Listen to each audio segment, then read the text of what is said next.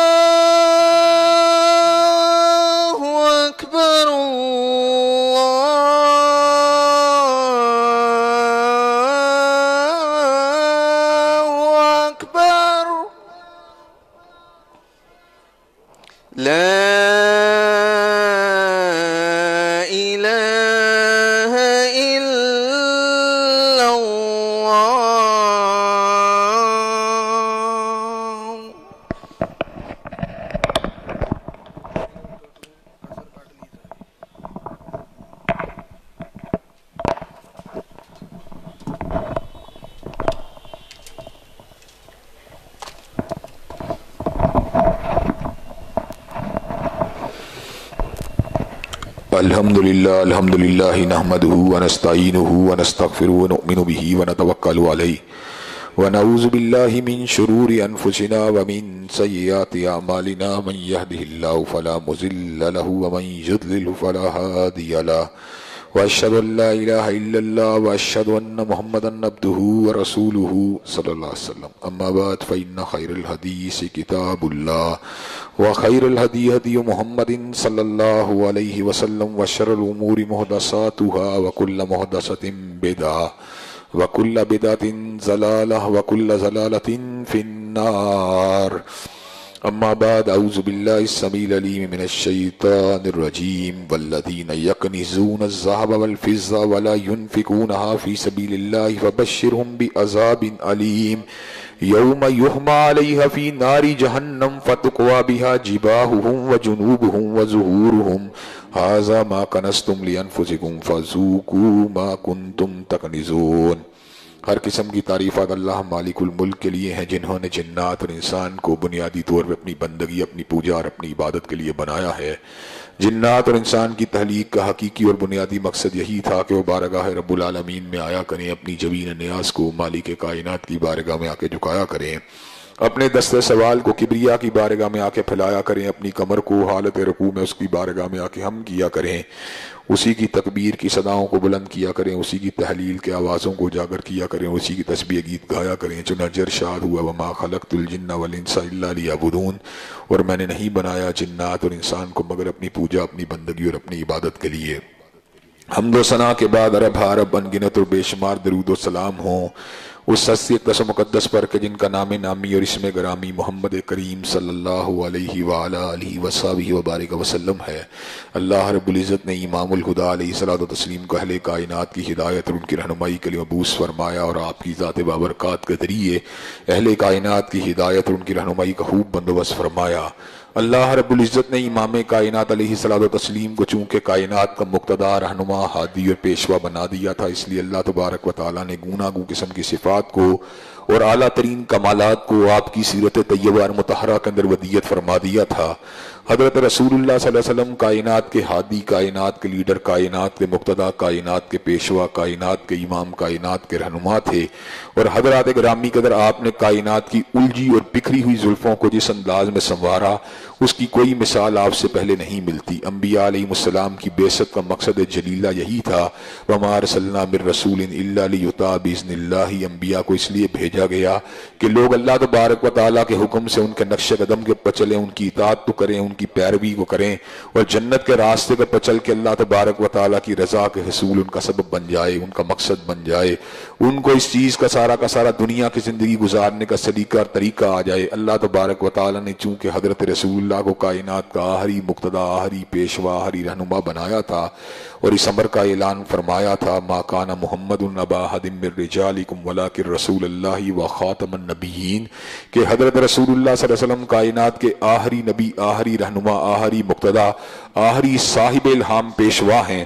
اس لیے اللہ تبارک و تعالیٰ نے آپ کی صفات، آپ کی ذات اقدس کے اندر ان صفات اور کمالات کو ودیت فرما دیا، جو کسی ایک عہد تک کے لیے نہیں تھی، جو کسی ایک زمانے تک کے لیے نہیں تھی، کسی ایک وقت اور کسی ایک اثر تک کے لیے نہیں تھی۔ آپ اپنے زمانے کے مقتدا نہیں تھے، اپنے زمانے کے پیشوا نہیں تھے، اپنے زمانے کے رہنما نہیں تھے، بلکہ آپ ہادی برحق تھے، ہادی زماں تھے۔ اور اللہ تبارک و تعالیٰ نے آپ کو رہتی دنیا تک کے لیے انسانوں کا مقتدا انسانوں کا پیشوا، انسانوں کا رہنما بنا دیا تھا۔ اور اس عمر کا اعلان فرما دیا تھا کل ایوہ الناس انی رسول اللہ علیکم جمیعہ کائنات کے لوگوں سن لو، آج وہ آیا ہے جو فقط عربیوں کا بڑا بن کے نہیں آیا، فقط اجمیوں کا بڑا بن کے نہیں آیا، فقط پچھم و پورب کا بڑا بن کے نہیں آیا، فقط اتر و دکن کا بڑا بن کے نہیں آیا، فقط ایک اشرے کا بڑا بن کے نہیں آیا روبا صدی کا بڑا بن کے نہیں آیا، نصف صدی کا بڑا بن کے نہیں آیا۔ بلکہ آج وہ آیا ہے جو سارے زمانوں کا بڑا بن کے آیا اور سارے مکانوں کا بڑا بن کے آیا ہے۔ حضرت رسول اللہ صلی اللہ علیہ وسلم نے یہاں پر انفرادی اعتبار سے انسانیت کی اصلاح فرمائی تھی۔ وہیں پر آپ اجتماعی اعتبار سے بھی انسانیت کے کامل ترین مقتدا، کامل ترین پیشوا تھے۔ اسی لیے پنڈت ہری چند اختر نے کہا تھا، کس نے ذروں کو اٹھایا اور صحرا کر دیا، کس نے قطروں کو ملایا اور دریا کر دیا، اور ایک عرب نے آدمی کا بول بالا کر دیا۔ آدمیت کا غرض ساما مہیا کر دیا، حضرات گرامی قدر، حضرت رسول اللہ صلی اللہ علیہ وسلم کا نظام، کائنات کی تمام کی تمام لوگوں کو ایک لڑی کے اندر پرو کر، اللہ تبارک و تعالیٰ کے راستے پہ چل کر انسانیت کے فلاح و بہبود کے تمام کمان طریقوں کو فراہم کرنے کا پیغام تھا۔ اس حوالے سے حضرت رسول اللہ صلی اللہ علیہ وسلم نے ایک امت کی تشکیل کی تھی۔ وہ امت جس کے اندر اقوام جو تھی اس انداز کے اندر پروئی گئی تھی کہ شرقی غربی کا فرق مٹ گیا، شمالی جنوبی کا فرق مٹ گیا، پچھم و پورب کا فرق مٹ گیا اور حضرت علامہ اقبال کو بجا طور پہ یہ بات کہنی پڑی، اپنی ملت پہ قیاس اقوام مغرب سے نہ کر ہاس ہے ترکیب میں قوم رسول ہاشمی، ان کی جمعیت کا ہے ملک و نصب پہ انحصار اور قوت مذہب سے مستحکم ہے جمعیت تیری حضرات گرامی کا حضرت رسول اللہ صلی اللہ علیہ وسلم چونکہ کائنات کے مقتدا تھے، کائنات کے پیشوا تھے، کائنات کے ہادی اور رہنما تھے، اس لیے آپ نے کائنات کے تمام لوگوں کو رنگ و نسل سے بالا تر ہو کر ایک لڑی اور ایک زنجیر کے اندر پرونے کا کردار ادا کیا۔ آپ نے مظلوم اور بکھری ہوئی انسانیت کو، ٹوٹی ہوئی انسانیت کو، دکھی انسانیت کو، ایسے راستے کو چلا دیا، جہاں پر ان کے سارے کے سارے دکھ درد جو تھے، وہ ختم ہونے کے راستے پر چل پڑے۔ حضرات گرامی کے در پہلا کام آپ نے یہ کیا کہ توحید کی بنیاد کے پر ان کو آپس میں ملایا۔ دوسرا کام آپ نے یہ کیا کہ آپ نے جس وقت ان کو شرقی غربی کے فرق سے جدا کر کے ایک جمعیت کی شکل دی، ایک حزب کی شکل دی اور ایسے حزب کی شکل دی، وَمَنْ يَتَوَلَّ اللَّهَ وَرَسُولَهُ وَالَّذِينَ آمَنُوا فَإِنَّ حِزْبَ اللَّهِ هُمُ الْغَالِبُونَ۔ کہ ایسا حزب جس کو کائنات کے اندر کوئی مغلوب نہیں کر سکتا، جس کو کائنات کائنات کے اندر کوئی دبا نہیں سکتا، جس کو کائنات کے اندر کوئی مٹا نہیں سکتا۔ حضرت رسول اللہ صلی اللہ علیہ وسلم نے ایک ایسے حزب کی شکل کے اندر اپنی پورے کے پورے دوستوں کو، اپنے ساتھیوں کو، اپنے تلامزہ کو، اپنے شاگردوں کو پرونے کے بعد ان کو ایک نصاب تعلیم سے آگاہ کیا تاکہ ایک نصاب تعلیم ان کے سامنے ہو کلیئر کٹ ویژن ان کے سامنے ہو، زندگی کو کیسے گزارنا ہے، زندگی کو کیسے بتانا ہے۔ حضرات گرامی قدر اس کے اندر آپ نے قرآن مجید کو بھنڈا منٹل اساس دی اور قرآن مجید کی تشریح جو تھی، خود آپ کی سنت تھی۔ حضرات گرامی قدر آپ نے قرآن و سنت کا نصاب جب اپنے صحابہ کرام کو دیا تو پہلا کام آپ نے اس کے بعد جو کیا وہ اقامت سلاد کا کام تھا۔ صحابہ کرام رضوان اللہ علیہ مجمعین کو پانچ وقت مسجد میں آ کر نماز کو ادا کرنے کا حکم دیا۔ مقصد کیا تھا؟ مقصد یہ تھا جب وہ دوبارہ معاشرے کے اندر جائیں تو طاہر ہو کے جائیں متخر ہو کے جائیں، پکیزہ ہو کے جائیں، اللہ کی حشیت کے احساسات کو لے کے جائیں۔ اور اللہ تبارک و تعالیٰ کے حبیب کو اور اللہ تعالیٰ کو اس بات کا علم تھا کہ جب یہ یہاں سے فارغ ہو کے جائیں گے تو اس کے بعد ان کے یہاں پر ایک ایسی بات موجود ہوگی کہ انہوں نے کاروبار بھی کرنے ہوں گے، لوگوں کے ساتھ تعلق داریاں بھی کرنی ہوں گی، رشتہ داریاں بھی کرنی ہوں گی۔ اور اللہ تبارک و تعالیٰ کو اس بات کا پتا تھا، ان تمام کے تمام امور کو چلانے کے لیے جو کام اللہ تبارک و تعالیٰ کی حشیت کر سکتی ہے، کوئی دوسری چیز کردار ادا نہیں کر سکتی۔ اللہ تبارک و تعالیٰ اس بات کو جانتے تھے، کائنات میں سب سے بڑا دائیا جو انسانوں کو آپس میں پروتا ہے، جو ایک لڑی کے اندر سموتا ہے، وہ اللہ تبارک و تعالیٰ کی حشیت ہے۔ اور اللہ تبارک و تعالیٰ کی حشیت کے پیدا کرنے کے لیے اللہ تبارک و تعالیٰ کی بارگاہ میں آ کے جھکنا، اس کی بارگاہ میں آ کے رکوع کرنا، اس کے لیے قیام کرنا، اس کی تکبیر کی صداؤں کو بلند کرنا، اس کے لیے سجدہ کرنا۔ اور اس بات کا نعرہ لگانا کہ انا صلاتی و نسکی و محیایا و ماتی للہ رب العالمین بے شک میری نمازیں، بے شک میری قربانیاں، بے شک میرا جینا، بے شک میرا مرنا، سبھی کچھ اللہ رب العالمین کے لیے لیے ہے. لا شریک لہو ابی ذالک امرت وانا اول المسلمین اور اللہ تبارک و تعالیٰ کی نہ ذات میں کوئی شریک ہے، نہ اوصاف میں کوئی شریک ہے، نہ کمالات میں کوئی شریک ہے، نہ آسماں میں کوئی شریک ہے. چنانچہ اللہ تبارک و تعالیٰ کے سامنے جھکنے کا درس جو تھا، حضرت رسول اللہ نے ان کو سب سے پہلے دیا اور خود کیا کیا، حضرات گرامی قدر اللہ تبارک و تعالیٰ نے اس امر کا اعلان فرما دیا. وَمِنَ اللَّيْلِ فَتَحَجَّدْ بِهِ نَافِلَةً لَكْ عَسَىٰ يَبْعَثَكَ رَبُّكَ مَقَامًا مَحْمُودًا. کہ لوگ تو پانچ نمازیں ان کے پر واجب ہیں، لیکن اللہ نے آپ کے پر تحجد کو بھی لازم کر دیا ہے۔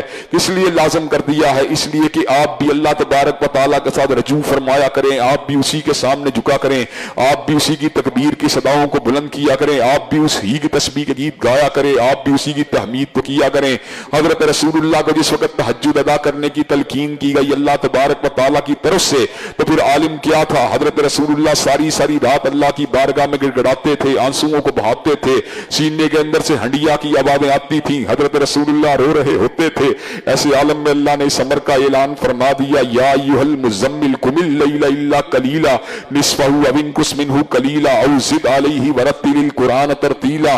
اے مزمل، اے چادر کو اوڑنے والے، آپ رات پوری نہ کھڑے ہوا کرے رات کا ایک حصہ کھڑا ہوا کرے کم اللیل الا قلیلا، پوری رات کھڑے ہونا جو ہے وہ آپ کو تھکا دیتا ہے۔ آپ کی ذات کا بھی آپ کے پر حق ہے، آپ کے گھر والوں کا بھی آپ کے پر حق حق ہے۔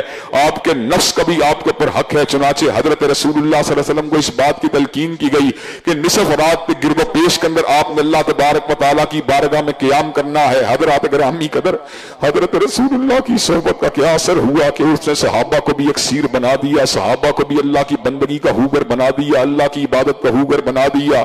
حضرات گرامی قدر اللہ کی بندگی کرنے والے یہ لوگ جو زمین کے سب سے افضل لوگ تھے انبیاء علیہ السلام کے بعد کہ حضرت رسول اللہ نے اس امر کا اعلان فرما دیا، خیر الناس کرنی ثم الذین یلونہم ثم الذین یلونہم بہترین لوگ میرے زمانے کے لوگ ہیں، بہترین لوگ وہ لوگ ہیں جنہوں نے میرے چہرہ علی کی زیارت کی ہے۔ حضرات گرامی قدر وہ اللہ والے لوگ جن کو اللہ تبارک و تعالی نے رضی اللہ عنہم و رسول عنہ کے اعزاز اور حتاب کے ساتھ نواز دیا۔ حضرات گرامی قدر، اللہ تبارک و تعالی کلام اللہ کے اندر اس امر کا اعلان فرما فرماتے ہیں وہ لوگ جو اللہ والے ہوتے ہیں ان کا مقام کیا ہوتا ہے وَقَيِّم مِّن نَبِيٍّ قَاتَلَ مَاهُ رِبِّيُّونَ کثیر، کہ بہت سے انبیاء نے اللہ والوں کے ساتھ اللہ کے راستے میں جہاد کیا، حضرات گرامی قدر اللہ نے جہاں نبیوں کی صفت کو بیان کیا، وہاں پر اللہ والوں کی صفت کو بھی بیان کیا۔ حضرات گرامی قدر صحابہ کرام رضوان اللہ علی مجمعین کو پتا تھا، ہمارا مرشد، ہمارا قائد، ہمارا رہنما، ہمارا مقتدا ساری ساری رات اللہ کی بارگاہ میں کھڑے ہونے کی کوشش کرتا ہے، چنانچہ صحابہ کرام بھی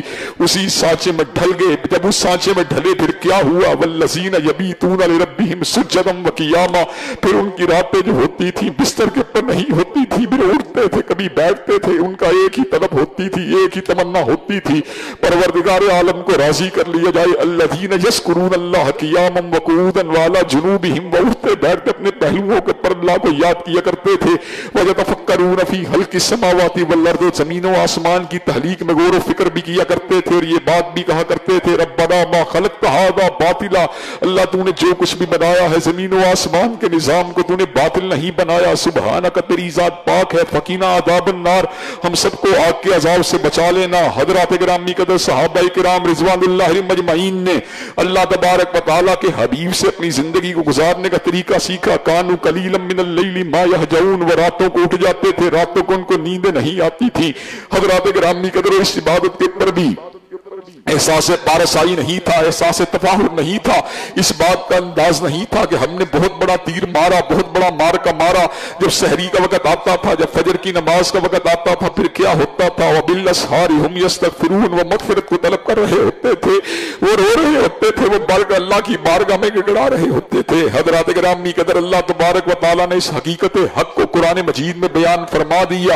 انما یکش اللہ من عبادہ العلماء، اللہ سے ڈرنے والے اللہ کے عالم عالم بندے ہوتے ہیں، عالم کو پتا ہوتا ہے، اللہ کون ہے؟ اللہ کتنا بڑا ہے، اللہ کتنا بڑا ہے، جاہل کو کیا پتا ہے، بے عمل کو کیا پتا ہے، بد عمل کو کیا پتا ہے، جتنا بڑا عالم ہے، اتنا ہی اللہ کی حشیت نقد کپاتا ہے، اتنا ہی اللہ تبارک و تعالیٰ کے خوف سے گھبراتا ہے، اتنا ہی زیادہ اللہ کی پیشی کے احساس سے اس کا دل ڈرتا ہے، اس کے ذہن کے اندر ایک ہی بات ہوتی ہے، کہیں ایسا نہ ہو میرے اعمال غارت ہو جائیں، کہیں ایسا نہ ہو میرے اعمال برباد ہو جائیں وبالاسحار هم یستغفرون، وہ سحری کے وقت مغفرت کو طلب کرنے والے، وہ اللہ والے لوگ حضرات گرامی قدر حضرت رسول اللہ نے ان کو اللہ تبارک و تعالیٰ کی بندگی کا ہوگر بنا دیا، بندگی کا انداز ان کے اندر اس انداز میں پیدا فرما دیا کہ سجدہ ان کی متمع نظر تھا، رکوع ان کا مقصد تھا، قیام ان کی زندگی کی حائش تھی۔ حضرات گرامی قدر پانچ وقت نمازوں کو ادا کرنا جو تھا، وہ اپنے لیے فقط کافی نہیں سمجھتے تھے۔ نوافل کے ذریعے اللہ کے قرب کو تلاش کرتے تھے، اللہ تبارک و تعالیٰ کی ذات کی معرفت کو حاصل کیا کرتے تھے۔ حضرات گرامی قدر یہاں پر حضرت رسول اللہ نے ان کو اللہ والا بنا دیا، جہاں پہ اللہ کے تعلق کے ساتھ ان کو جوڑ دیا، وہاں پر حضرت رسول اللہ صلی اللہ علیہ وسلم نے ان کو اپنے اموال کے اندر سے، اپنی معیشت کے اندر سے بھی اللہ تبارک و تعالیٰ کے حق کو ادا کرنے کا سبق پڑھا دیا اور یہ سبق سمجھا دیا۔ انہو لحب الخیر لشدید، کہ جو لوگ ہوتے ہیں وہ مالوں سے بڑی محبت کرنے والے ہوتے ہیں، لیکن اموال سے محبت کرنے والے لوگوں کے مقابلے کے پر وہ لوگ جو ہوتے ہیں، جو اللہ والے ہوتے ہیں، انہیں اس بات کا پتہ ہوتا ہے، فی اموالہم حق معلوم للسائل والمحروم، ان کو اس بات کا پتہ ہوتا ہے، ہمارے اموال میں حق ہے، سائلوں کا بھی حق ہے، محرومین کا بھی حق ہے۔ حضرات گرامی قدر وہ اس بات کو سمجھنے والے ہوتے ہیں کہ ہمارے اموال کے اندر سے اللہ تبارک و تعالیٰ کے حق کو ادا کر کے ہی ہم اللہ تبارک و تعالیٰ کو راضی کر سکتے ہیں۔ حضرات گرامی قدر اللہ تبارک و تعالیٰ کے حبیب نے ان کو اللہ تبارک و تعالیٰ کی ان آیات سے ادا فرما دیا۔ والذین یکنزون الذهب والفضة ولا ينفقونها في سبيل الله فبشرهم بعذاب الیم وہ جو سونے چاندی کو جمع کرتے ہیں، وہ جو درہم و دینار کو جمع کرتے ہیں، جو جو مال اور سرمایے کو جمع کرتے ہیں اور اس کو راہ خدا میں خرچ نہیں کرتے، فبشرهم بعذاب الیم انہیں عذاب علیم کا سبق پڑھا دیجیے۔ یوم یحما علیہ فی ناری جہنم، قیامت کا دن قریب ہے۔ اس دن اس سونے اور چاندی کو جہنم کی آگ کے اندر اتارا جائے گا۔ جہنم کی آگ کے اندر اس کو گرم کیا جائے گا۔ اس کے بعد اس گرم لوہے کے ساتھ، اس گرم سکوں کے ساتھ جو ہے، اس سونے کے ساتھ، اس چاندی کے ساتھ جو ہے، ان کے پشتوں کو داغا جائے گا، ان کے پہلوؤں کو داغا جائے گا، ان کی پیشانیوں کو داغا جائے گا اور یہ بات کہی جائے گی حاضا ما کنستم لانفسکم فذوقوا ما کنتم تقریدون یہ اس چیز کا سبب ہے تم اکٹھا کیا کرتے تھے، چنانچہ اکٹھا کرنے کا مزہ چکھ لو۔ حضرات گرامی قدر، میں آپ کے سامنے آج اس بات کو رکھنا چاہتا ہوں، جہاں پر حضرت رسول اللہ نے نماز کی تلقین کی اور نماز کو دین کے اندر فنڈامنٹل ایک بنیاد عقیدہ عقیدہ توحید و سنت کے بعد قرار دیا اور اس بات کو سمجھا دیا کہ ان الصلاۃ تنہا عن الفحشاء والمنکر کہ بے شک نماز فحشی اور برائی سے روکتی ہے، وہیں پر اموال کی تطہیر کو، اموال کے تزکیے کو، اموال کی زکات کو، اموال کے صدقات کو بھی انسانوں کی فلاح و بہبود کی بہت بڑی علامت بنا دیا اور اس امر کا اعلان فرما دیا۔ الذين ينفقون اموالهم بالليل والنهار سرا وعلانية فلهم اجرهم من ربهم ولا خوف عليهم ولا هم يحزنون وہ لوگ جو اپنے مالوں کو صبح و شام اللہ تبارک و تعالیٰ کے راستے میں سری اور اعلانیہ طور پہ خرچ کرتے ہیں، ان کا اجر پروردگار عالم کے پاس ہے۔ لا خوف علیہم علیہم ولا هم يحزنون اللہ ان کے خوفوں کو بھی دور کر دے گا، اللہ تبارک و تعالیٰ ان کے غموں کو بھی مٹا دے گا۔ حضرات گرامی قدر ہم اپنے خوفوں کو دور کرنا چاہتے ہیں، اپنے غموں کو دور کرنا چاہتے ہیں، تو اس کے مختلف طریقہ کار میں سے ایک بڑا طریقہ یہ ہے، جو اللہ تبارک و تعالیٰ کا دیا ہوا مال ہے، اس کو اسی کے راستے کے اندر خرچ کر دیا جائے۔ اس لیے کہ جب اللہ تبارک و تعالیٰ ہی کے دیے ہوئے مال میں سے اس کے راستے میں خرچ کیا جائے گا، اس میں کون سی چمبے کی بات ہے، اس میں کون سے جو ہے حیرانی کی بات ہے، جب دیا اس کا ہے تو اس کے راستے میں خرچ ہو جائے، اس سے بڑی شہادت کی کیا بات ہو سکتی ہے؟ حضرات گرامی قدر اللہ تبارک و تعالیٰ نے ٹریڈنگ کی ہے ٹریڈنگ کس انداز میں کی ہے؟ مسل الذین ينفقون اموالهم فی سبیل اللہ کا مسلی حبت انبت السبع سنابل فی کل سنبلت میت حبا واللہ یضاعف لمن یشاء، واللہ واسع علیم۔ وہ لوگ جو اللہ تبارک و تعالیٰ کے راستے میں مالوں کو خرچ کرتے ہیں، ان کی مثال اس انداز کے اندر ہے، جس نے ایک بھٹے کو زمین کے اندر بویا، اس بھٹے کے نتیجے کے اندر سات کوپلے نکلی۔ ہر کومپل کے اندر اللہ نے سو سو دانوں کو پیدا فرما دیا۔ ایک دانے کے بدلے اللہ تبارک و تعالیٰ نے سات سو دانے اس کو بنا دیا اور اس عمر کا اعلان فرما دیا۔ واللہ یضاعف لمن یشاء، واللہ واسع علیم۔ کہ اللہ تبارک و تعالیٰ جس کو چاہتے ہیں، اس سے بھی زیادہ اس کے صدقے کو بڑھا دیتے ہیں، اس کی زکات کو بڑھا دیتے ہیں، اس کے اجر کو بڑھا دیتے ہیں۔ حضرات گرامی، قدر میں آپ کے سامنے آج اس بات کو رکھنا چاہتا ہوں کہ حضرت رسول اللہ کا پیغام جو تھا، وہ جہاں پر اللہ تبارک و تعالیٰ کے سامنے جھکنے کا پیغام پیغام تھا، سر کو گرانے کا پیغام تھا، اس کی حشیت کا پیغام تھا، اس کی للہیت کا پیغام تھا، تکبیر کا پیغام تھا، تحمید کا پیغام تھا، تسبیح کا پیغام تھا۔ وہیں پر اپنے اموال میں سے اللہ تبارک و تعالیٰ کے راستے میں حرچ کرنے کا پیغام بھی دوسرا کام جو آپ نے کیا۔ اقامت سلاد کے ساتھ ساتھ لوگوں کو زکوٰۃ کے حوالے سے جو ہے آپ نے پابند فرما دیا۔ میں نظام مصطفیٰ کی پہلی اکائی نماز کے قیام کے بعد دوسری اکائی جو ہے، انفاق فی سبیل اللہ کا ذکر آپ حضرات کے سامنے کر رہا ہوں۔ پہلی اکائی کا تعلق میرے نفس کے ساتھ ہے، میرے دل کے ساتھ ہے، میرے دماغ کے ساتھ ہے۔ جب میں بار بار اللہ اکبر کی جواب صدا کا جواب دوں گا، جب میں بار بار حیا الصلاح حیا الفلاح کی صدا کا جواب دوں گا، میرا دل جو ہے طاہر و متحر ہو جائے گا۔ حضرات گرامی کا حضرت ظفر علی خان نے کہا تھا کہ آپ نے حضرت ظفر علی خان نے اس موقع کے اوپر یسربی تہذیب کا بڑا خوبصورت انداز میں نقشہ کھینچا تھا۔ ایک تہذیب وہ ہے جس کا نعرہ خان صاحب لگاتے ہیں، ایک مدینہ کی ریاست وہ ہے۔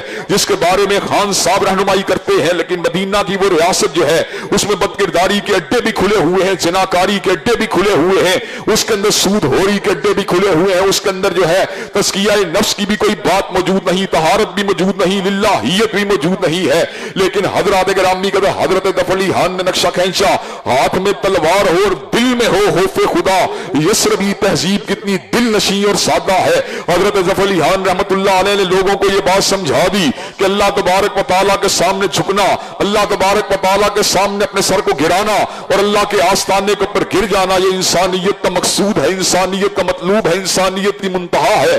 حضرات گرامی قدر اللہ نے بڑے بڑے نبیوں کو عروج دیا، لیکن حضور علیہ السلام کی معراج جو تھی وہ سب سے ہی عجیب تھی۔ اللہ تبارک و تعالیٰ نے سین بیت المقدس سے اٹھا کر سین بیت اللہ سے اٹھا کر سین بیت المقدس کے اندر پہنچا دیا اور سین بیت المقدس سے اللہ تبارک و تعالیٰ نے آسمان اول کے اوپر پہنچا دیا، آسمان دوئم کے اوپر پہنچا دیا سوئم کے اوپر پہنچا دیا چوتھے پہ پہنچا دیا، پانچویں پہنچا دیا، چھٹے پہ پہنچا دیا، بیت المامور کو دکھلا دیا، ساتویں کے اوپر پہنچا دیا، بیت المامور کو دکھلا دیا تصریف الکلام یعنی کلم قدرت کے چلنے کی آواز کو سنوا دیا صدرت المنتحار وہاں پر عجیب و غریب رنگوں کو دکھلا دیا، حضرات گرامی قدر، حضور کی معراج، ساتویں آسمان کی سیر ہے، اللہ تبارک و تعالیٰ سے کلام ہے اور مومن کی معراج نماز ہے۔